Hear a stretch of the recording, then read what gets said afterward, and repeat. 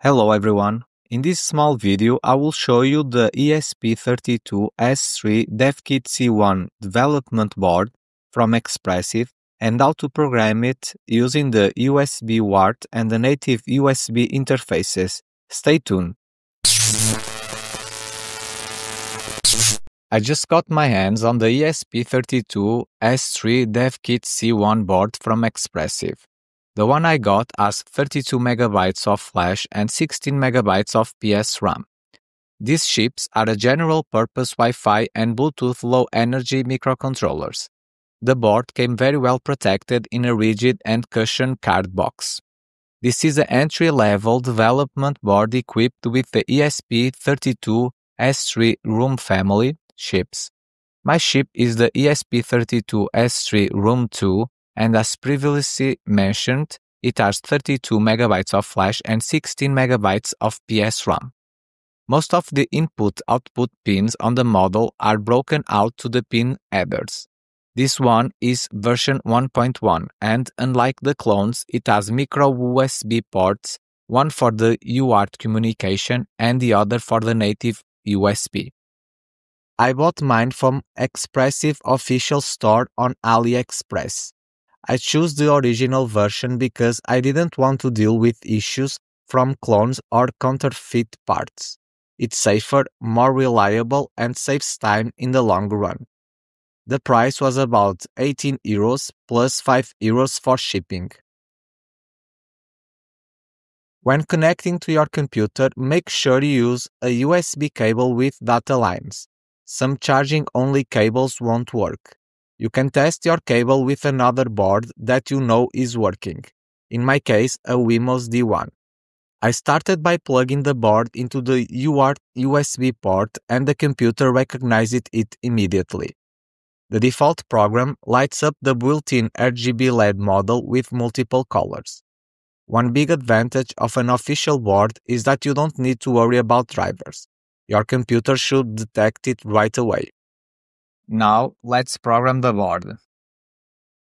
First go to File, Preferences, and add the Espressif Stable release link to the board's manager. You can find this link in the Arduino ESP32 Espressif page.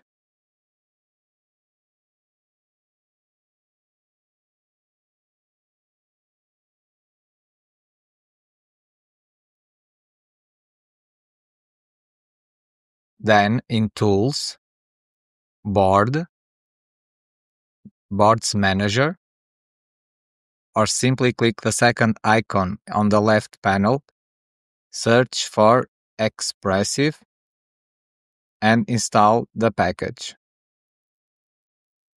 This may take a little while. Next, select the board tools, board, ESP32, ESP32S3 Dev Module. Since the board is already connected, it should also appear under Tools, Port. You can even confirm it by selecting Tools, Get Board Info. Now let's configure the parameters. Flash mode OPI 80 MHz, as both the flash and PS RAM work in Octal SPI, one can find this information in the board's page.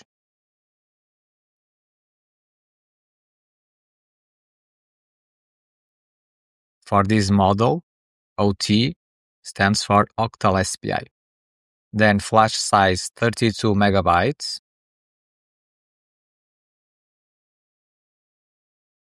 Partition scheme one compatible with 32 megabytes. PS RAM, OPI, PS RAM. Finally, upload mode, UART0 hardware CDC. That's it for the setup. Time to upload the first sketch, the blinking RGB example. Go to File, Examples, ESP32, GPIO, Blink RGB.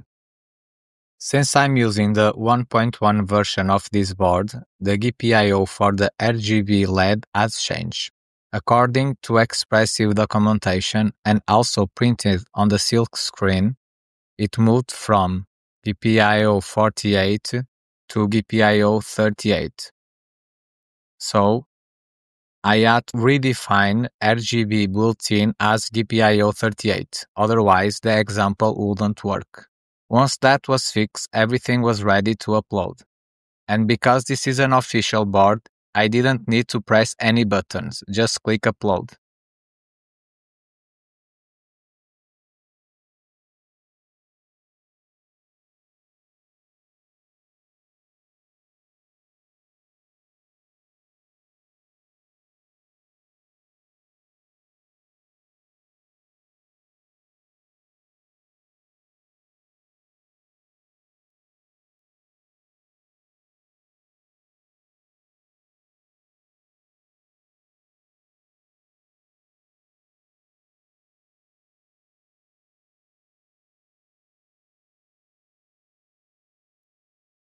The code starts by enabling the RGB driver on GPIO 38.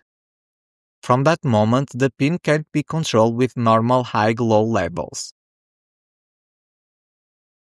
The example then cycles through red, green, and blue each for one second, a simpler effect compared to the factory firmware, which shows more colors. Next, I tested programming through the native USB port. When I switched ports, a new COM port appeared on my computer. I select it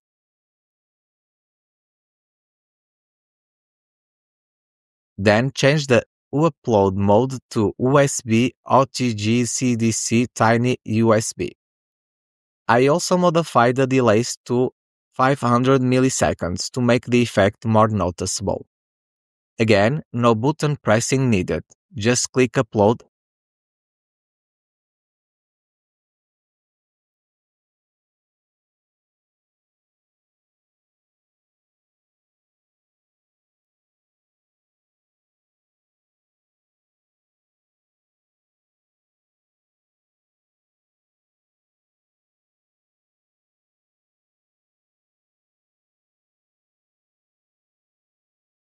And that's it. I hope you enjoyed this quick overview of the ESP32S3 DevKit C1. If you did, please give it a like and consider subscribing to the channel. Thank you for watching.